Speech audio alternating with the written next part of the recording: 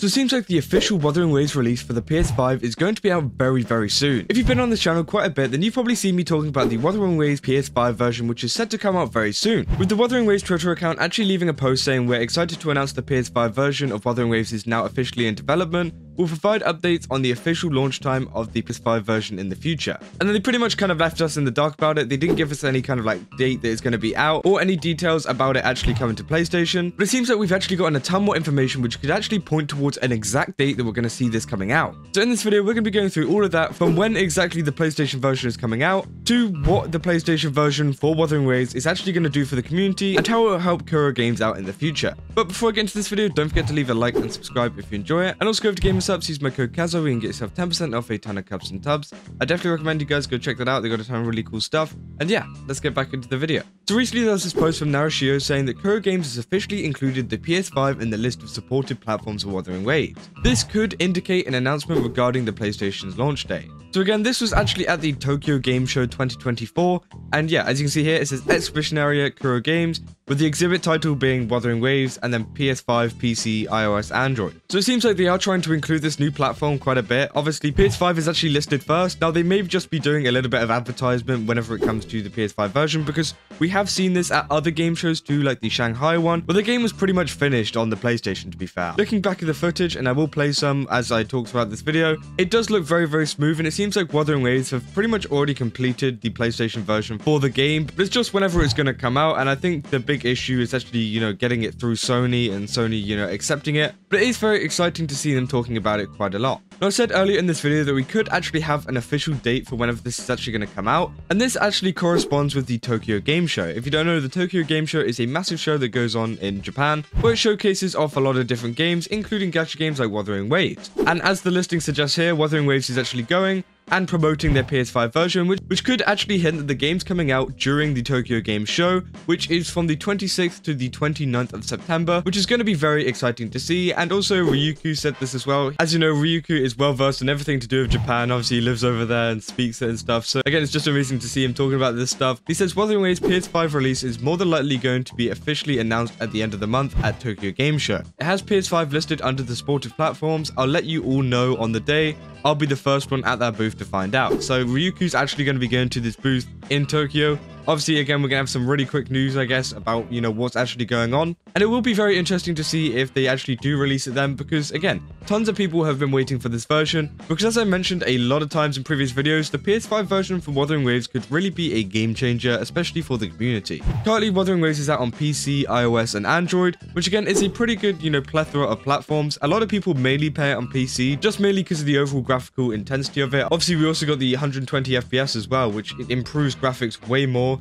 and it seems like a lot of people are going to be enjoying it more on PC rather than mobile, which is a little bit strange thing as a lot of gacha games usually do get played on mobile, especially by a lot of people in China. China is a massive, massive consumer whenever it comes to gacha games, and a lot of these people play it on mobile. That's why a ton of games, including like Azur Lane, Fate Go, and stuff like that, have very, very simple designs because they want it to run on a lot of phones. But whenever you got games like Wuthering Waves, Genshin Impact, even Honkai Star Rail, which have very graphically intense kind of, you know, visuals, it's going to be harder for someone with like an entry-level phone to actually be able to play this, and it does kind of exclude a lot of people. But also, this can be fixed by the addition to, you know, platforms like PlayStation, where if you can't afford maybe a PC and maybe a good phone, maybe you've got something like a PS5 which could actually run it, which again I think will be very exciting. And as I was talking about with the 120 FPS 2, I think this is actually going to be available on the PS5 as well. Maybe not straight away, but I think one of the main, you know, features of a PS5 is that it can do 120 FPS if you wanted to, which again will be very, very good for Wuthering Waves if they can actually get that going.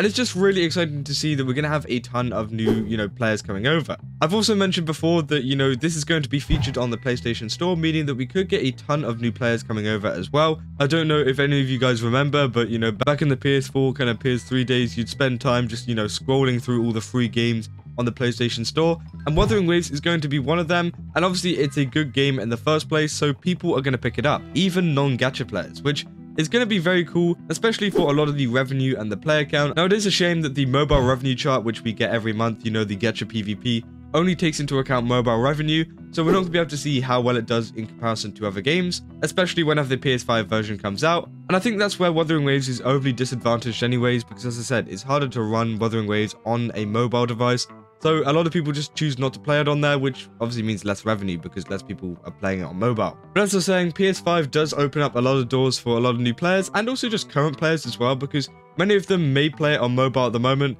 Maybe, you know, they've got an alright phone and it's running pretty bad, but again, they love the game so much that they keep playing it. Well, now they can actually switch over to their PS5 and play it on there and have a much smoother experience and enjoy the game which again I just think is great and it does include a lot more people. Now obviously we can see that the PS4 isn't listed on here so it means that this will probably be PS5 exclusive only. Now do I think that's a bad thing? Probably not because the PS4 is now a very outdated kind of console. It would be cool to see it because it would generate even more players with PS4s but at the same time I think it's much easier for Kuro Games to focus on one console so they can perfect it and maybe if they want to move on to stuff like the PS4 or even Xbox or something like that, then they can do so. And I definitely think that, you know, expanding out to as many consoles as possible would be great. As for other consoles, I don't think we're going to see Wuthering Waves coming to, you know, like the Nintendo Switch or anything, just purely because of Nintendo's relationship with a lot of Chinese games. Obviously, Genshin Impact has been trying to get it on there for ages, and it still hasn't happened, and I don't think it's going to happen at all. And that's mainly down to the reason I just mentioned. So that is kind of disappointing, but it is really great to see it's coming out on other consoles, and maybe in the future we can see the addition to stuff like Steam as well. As we've seen with like Honkai Impact 3rd, I'm pretty sure they added it to Steam, and some other games they added to Steam as well, which I don't know if Wuthering Waves would benefit from it, but it would be very interesting to see how it does. And I just see Wuthering Waves coming out to other platforms as kind of just a net positive anyways. So yeah, I'm very excited for this to come out to PS5. Obviously, we're going to have to wait and see what happens at the Tokyo Game Show. Are they going to announce anything? I think we should expect some more announcements as well, not just from Wuthering Waves, maybe from some other games that are attending as well. Obviously, this is a massive show, so they want to show off and make their overall exhibits all about them. So obviously, announcing a massive update at one of these events is going to bring them a lot of attention. So maybe Kuro Games have some more stuff up their sleeve other than the PS5 version, but honestly, I'd be quite satisfied with the PS5 version being announced at the Tokyo Game Show. And yeah, Ryuku's going to be going there, so, you know, keep an eye on his page to see what's happening. And obviously, I'll keep you guys updated on everything that's going on with that as well. And yeah, this is just some very exciting news that I wanted to share. And hopefully in the next week or so, we'll all be playing on PS5. Because I definitely think that we're going to be seeing something happening over here. Yeah, let me know down in the comments what you guys think. Do you think that the PS5 is going to be helpful for Wuthering Waves? Or do you think it's actually going to inhibit it? And, you know, it's going to be much more slow for them to get out updates, especially across platforms. Some people did have those concerns. So yeah, I'm just interested in what you guys think. And do you think it's going to be coming out even at the Tokyo Game Show? Or do you think we're going to be waiting even longer for it to come out? Yeah, that's about all I got for this video. If you did enjoy it, then don't forget to leave a like and subscribe. And also go to GamerSupps, as I said, use my code CASUAL, we can get yourself 10% off a ton of cups and tubs. I definitely recommend going over there. They got some really cool stuff. And yeah, I will see you guys in the next one. That's all. See ya.